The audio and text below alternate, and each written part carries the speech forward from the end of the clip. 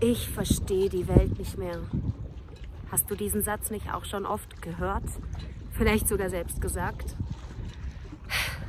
Vielleicht mag es wirklich so erscheinen, aber ich möchte meine Sprache ändern. Weil ich muss die Welt nicht verstehen. Ich muss verstehen, dass ich nichts verstehen muss, um im Leben weiterzukommen, um meine Zeit sinnvoll zu nutzen, um nicht hängen zu bleiben im Leben, nicht stehen zu bleiben. Ich habe gerade heute, ähm, ich habe so ein Andachtsbüchlein, das ich jeden Tag lese und gerade heute stand da ähm, aus dem Epheserbrief, nutze deine Zeit sinnvoll. Und das ist echt ein Thema, was mich im Moment sehr beschäftigt.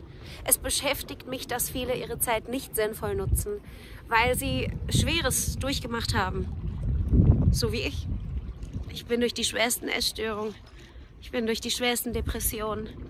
Ich habe so viel Schweres erlebt, aber habe dieses Gefühl, ich bin hängen geblieben.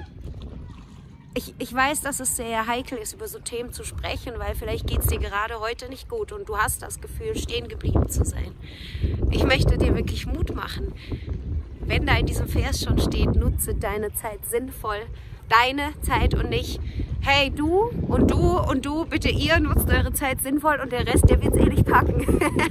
Damit ist wirklich jeder gemeint, auch du. Und ich habe jetzt diese Zeit sinnvoll genutzt, auch mal rauszugehen an die frische Luft und wirklich auch mal bei Gott nachzuhaken und so ein eine Standortermittlung sozusagen mit ihm durchzugehen. Hey, bin ich gerade am richtigen Platz oder kann ich vielleicht, während ich auf dieser Erde bin, noch mehr bewegen und noch mehr bewirken?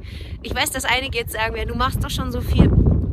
Ist ja gut und recht, aber wir haben ja auch hier und wir sind ja auch weise und vielleicht können wir mit der gleichen Power auch noch mehr aufbauen. Aber vielleicht gibst du noch gar nicht deine ganze Leidenschaft, deine ganze Zeit, deine Liebe, deine Kraft, auch dein Geld in die Aufgabe, für die du geboren worden bist.